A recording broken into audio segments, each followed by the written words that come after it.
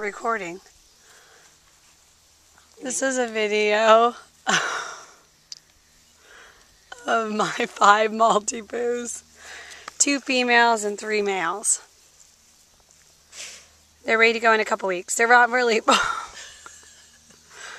They're not really moving a lot, but they're getting started.